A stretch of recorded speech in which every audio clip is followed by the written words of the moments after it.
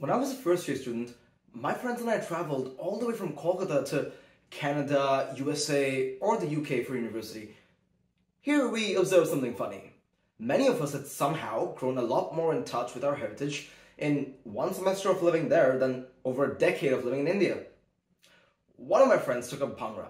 For context, I had never seen him dance a day in my life before this. I met a friend over Christmas break that year. He went to Toronto for university, where you can imagine not that many people speak Bengali, right? He ended up more fluent in Bengali by the time we met than before he left Kolkata, where everyone speaks Bengali. Another friend in the USA started to get really into his religion and ritualism. Again, something very new to him. And me, well, I purchased and ended up dressing up in traditional clothing more times in three months than in the four or five years before that time. When I came to Canada, I was cornered. When my friends came here, they were cornered. We were minorities for the first time in our lives, counting ourselves among the over 7 million visible minority population in Canada. And as a minority, there's a certain expectation of you laid down by society to defend your culture or represent your traditions always, all the time. As a member of a minority community, when you're outside, you're always representing your country. I can't count the number of times I've been asked about Bollywood, although I barely understand Hindi well enough to follow a full movie along. On another note, none of your actions ever go unnoticed. And whatever you do is going to reflect on your countrymen. If you're, say, Armenian, and you go on a date and the person doesn't enjoy your company, the feedback is going to sound like, yeah, I'm not into Armenian people because the one Armenian person I went out with was boring, or something along those lines. We aren't always afforded an individual identity beyond our backgrounds. See, we're always representing our cultures, for better or for worse. As you can imagine, this creates a kind of pressure where people can feel cornered. Cornered into being a mascot for their culture because, because society refuses to see us as individuals, but just as ambassadors. Here's the thing though, many of us are not great ambassadors for anything. And neither should everyone who moves someplace else be expected to carry the burden of always representing their communities. No. What this expectation does is force some people into places where they start to wonder where they belong. You know, because they feel that if they can't adequately represent their own culture, did they ever really fit in? Now, this is mostly common in second generation immigrants as they struggle to balance two societal identities. Because when you're trying hard to be or show just a part of yourself as your whole and entire identity, there arises a form of imposter syndrome. You are left wondering if you belong more to the country you've been living in or the country your culture belongs to. You start wondering about what choice to make, culturally speaking. And it all starts with the expectation of being an ambassador for your background always. Let me be the first to say, there is no choice here.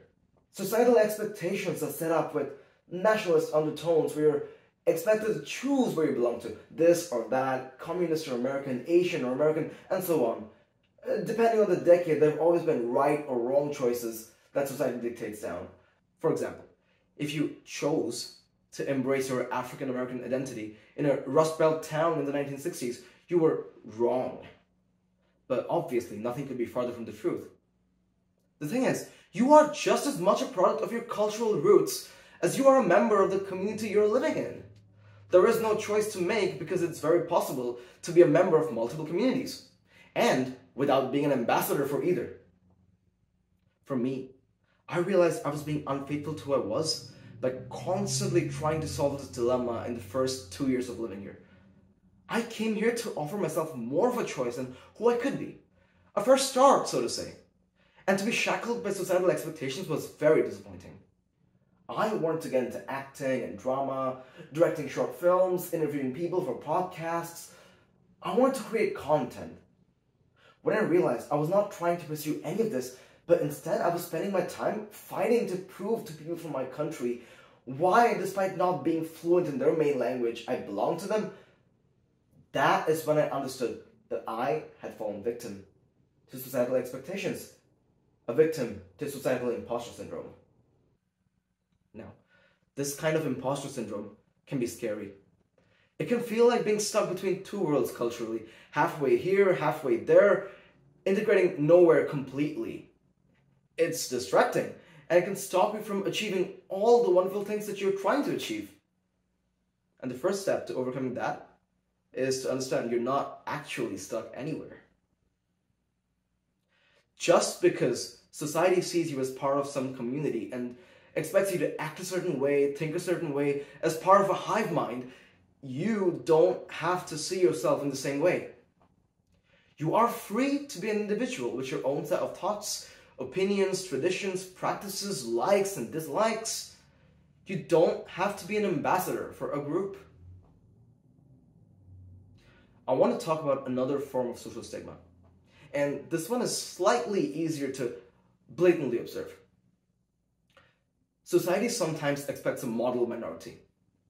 A lot has been said about this around a year and a half ago, in the summer of 2020. Basically, some minority groups are held as a gold standard and others are expected to follow suit, creating more pressure upon people just trying to do their best. There is a lot to be said about pressuring people to be something they're not, and uh, this model minority expectation can be very toxic. For me, the takeaway here is that society will often pit minorities against each other in a toxic game where the winner gets to be that model minority. Harvard Law actually has an amazing article about this model minority myth, which you can see right here. Therefore, to avoid being pitted against one another, sometimes people will subconsciously borrow elements of another group's culture. Then, they may form their whole personalities around it. This is not always intentional. As young people, we are more susceptible to absorbing mannerisms and behaviors of people around us. Yet, what's interesting to discuss is the blatant attempt to deny one's own culture that follows. Yes, that is something often observed among people who take this route of imitating another more popular culture. You could argue that, hey, at least you'll never be asked to represent a culture you're only borrowing from. But this imitation cannot come at the cost of completely sacrificing your own heritage. For example, in my hometown, what this imitation game looks like is Gen Y parents boasting to each other about how horrible their children are at speaking Bengali and how amazing they are in English. Hmm, not exactly a very flattering outlook. At the end of the day, you're losing your individualism inside an alien culture just because you want to fit in without the burden of stereotypes or expectations. I blame the setup of modern society for this problem.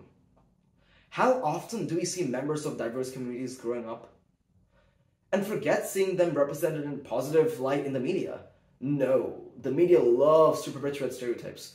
Hollywood loves Asian doctors, Indian programmers, Caucasian CEOs, Russian villains. You get the point it remains difficult for a young person, especially second generation immigrants or a minority person growing up in the Western countries, to observe a positive role model from their community. So they have a hard time accepting and embracing their culture because the culture is so poorly represented. What I would like to say is that out of the two ways people commonly choose to overcome society's various stigmas, both have an innate price to pay. Firstly, if you're forced to always represent your community, you may get cocooned in your culture or end up fighting just to prove you belong somewhere. Uh, you don't have to be a master at Bhangra to prove you're Indian, nor should your actions reflect on your community as a whole. Secondly, you don't need to sacrifice everything about your heritage just to prove to society you're not a walking stereotype either. Now, none of this is ever easy, but being aware that the choices society forces you to make are not choices that should exist. It goes a long, long way. After I realized I was on the verge of getting siloed in my culture, I had to very actively pursue drama and acting, directing, podcasting, uh, the things I wanted to do and the things I cared about. Once I realized I was an individual outside of society's expectations for people of my background, that is when I found a lot of success with my goals. It's not always simple fighting against generations of social conditioning, but if you want the next generation of people to be seen as individuals and not merely as ambassadors of some culture, uh, this concept is a good thing to stand up for.